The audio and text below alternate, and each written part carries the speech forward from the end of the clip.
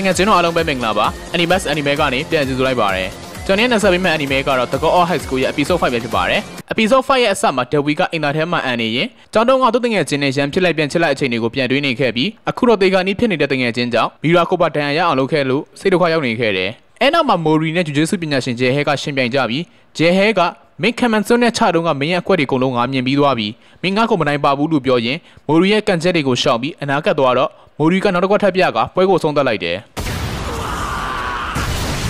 အဲ့ဒါကြောင့်မိုရီကအနိုင်ရသွားခဲ့ပြီးဖိုင်နယ်ပွဲမှာတော့မိုရီနဲ့ဒေဝီကချက်ရမှာပဲဖြစ်တယ် အဲနောက်မှာမိုရီကဒဏ်ရာရနေတဲ့မီရာကိုတောက်တွေ့ခဲ့ပြီးမီရာကနန်နိုဆက်တွေရဲ့အကူအညီကြောင့်မနှက်ဖြန့်ဆိုရင်ဆေးရုံကနေဆင်းလို့ရတာကိုပြပြကမိုရီကိုအခြားတွေးတွေရှောက်မဝင်ဖို့နဲ့သူရှုံးတာကသူညံ့လို့ဆိုပြီးပြပြတယ်မိုရီကတော့ဒယ်ဝီဟာမီရာကိုဘာကြောက်ဒဏ်ရာရအောင်လုပ်လဲဆိုတာနားမလည်နိုင်ဖြစ်နေတော့မီရာကသူ့မှာအကြောင်းကိစ္စတစ်ခုရှိမှာပေါ့ဒယ်ဝီကဒီလိုရက်ဆက်တဲ့လူစားမျိုးမဟုတ်ဘူးလို့ပြောလိုက်တယ်တစ်ဖက်မှာတော့ဒယ်ဝီကသူ့ငယ်ချင်းကိုကြည့်နေခဲ့ပြီးသူ့မကသူ့မောင်မနက်ကခဏလောက်တတိရလာပြီးဒယ်ဝီကိုတွေ့ချင်တယ်လို့ပြောတဲ့အကြောင်းကိုပြောပြတယ် နောက်နေ့ကိုရောက်တော့လူတွေအကုန်လုံးက God of High School ရဲ့ final ပွဲကိုစောင့်မျှော်နေကြပြီးဒိုင်ကလည်းပြိုင်ပွဲကိုစတင်ခြင်းညာအကြောင်းပြောကရှင်မြန်သူတွေဖြစ်တဲ့ Mori နဲ့ Dewi ကိုစင်မော်ကိုလာဖို့ဖိတ်ခေါ်လိုက်တယ်။အဲနောက်ပွဲကိုစတင်တော့သူတို့နှစ်ယောက်လက်တမ်းမချပဲချင်းချင်းကြည့်နေခဲ့ကရုတ်တရက်အနားကိုပြေးထိုးလိုက်ကြပြီးအဲ့မှာ Mori ရဲ့ကန်ချက်ကြောင့် Dewi ကလွတ်ထွက်သွားခဲ့တယ်။ Mori ကစက္ကန်တော့ Dewi ကရှောင်းလိုက်ပြီးသူတို့လည်းဘားတပြန်ကြားတပြန်အကျိတ်နဲ့ထိုးနေကြက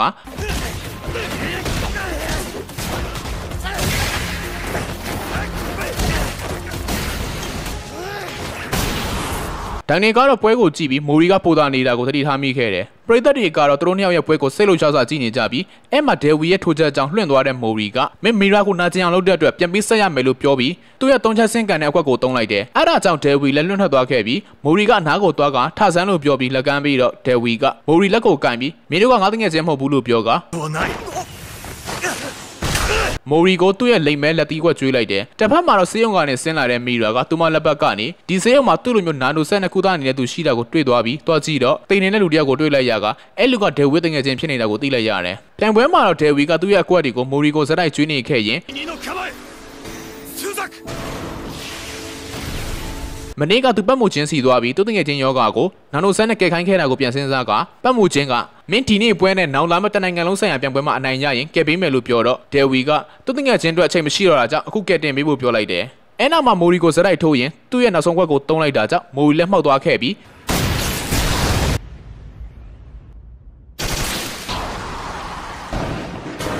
ဒိုင်ကအမတ်စင်စရည်နေခဲ့က အဲ့ချိန်မှာပတ်မှုချင်းကဒယ်ဝီနာကိုလာပြီးမင်းတငယ်ချင်းကိုငါတို့တွေနာတို့ဆက်နဲ့ကုသလိုက်ပေမဲ့အချိန်နောက်ကြောက်လို့တည်သွားခဲ့ပြီးအဲ့ဒါကြောင့်သဘောတူထားတာတွေကပြတ်သွားပြီမို့လို့မင်းစိတ်ကြိုက်လှုပ်ရှင်လာလုပ်လို့ရပြီဖြစ်ကြောင်းပြောလိုက်တယ်မိုရီကတော့တစ်ဆယ်မပြည့်ခင်ပြန်ထားလာခဲ့ပြီးဒယ်ဝီကတော့သူ့ကျောင်းတုံးကလူမိုက်ခေါင်းဆောင်ဖြစ်ခဲ့တဲ့အကြောင်းနဲ့သူဒုက္ခရောက်တော့သူတငယ်ချင်းကလာခဲ့ခဲ့တာတွေကိုပြန်တွေးနေခဲ့ပြီးသတိပြန်ရလာတော့သူကလဲကြနေခဲ့ကတိုင်ကလည်းအမှတ်ဆင်ရှိနေခဲ့တယ်အဲနောက်မှာဒေဝီကပြန်ထလာပြီးမိုရီကသူ့ကိုရှယ်ကျိတ်နေပေမဲ့ဒေဝီကတော့စိတ်သက်တွေကြပြီးဘာမှပြန်မလုပ်နိုင်ပဲဒီတိုင်းပဲထိုးခံနေခဲ့တယ်။ဒိုင်တယောက်ကတော့ပတ်မှုချင်းကိုဘာလို့ချနေတော့ဒေဝီတငယ်ချင်းသိသွားတာသွားပြောတာလေလို့မေးတော့ပတ်မှုချင်းကယောက်ျားတယောက်ဟာဘွားရဲ့စိတ်ထိခိုက်ဆုံးအချိန်မှာသူကဘလို့လူစားမျိုးလဲဆိုတာကိုသိရလိမ့်မယ်လို့ပြောလိုက်တယ်။ပွဲကိုကြည့်နေတဲ့ပရိသတ်တွေကတော့ဒေဝီကိုရှုံးပေးဖို့ပြောနေပေမဲ့ဒေဝီကတော့သူမီရာကိုပါနာကျင်အောင်လုပ်ခဲ့မိတာတွေကိုပြန်တွေးခဲ့ပြီးနောင်တတွေရနေခဲ့ကအဲ့ချိန်မှာမီရာကစပီကာနဲ့ဒယ်ဝီကိုဟဲ့နင်ဘာတွေလုပ်နေတာလဲဟာငါနဲ့ချတော့ကဒီထက်အစနေရလောက်ပိုချမ်းတယ်လို့အော်ပြောလိုက်တယ်အဲနောက်မှာဒယ်ဝီကိုသူ့တငယ်ချင်းပေးခဲ့တဲ့စာကိုပြကဒယ်ဝီလည်းစာဖတ်ပြီးတဲ့နောက်မှာမီရာကိုခဏကင်ထားဖို့ပြောပြီးမိုဝီနဲ့ဆက်ချဖို့ပြင်တယ်မိုရီကတော့ထိုင်ကချဖို့ပြောနေတာကိုမကြားချင်အောင်ဆောင်နေခဲ့ပြီးဒယ်ဝီကပြန်ပြုံးလာတာကိုတွေ့က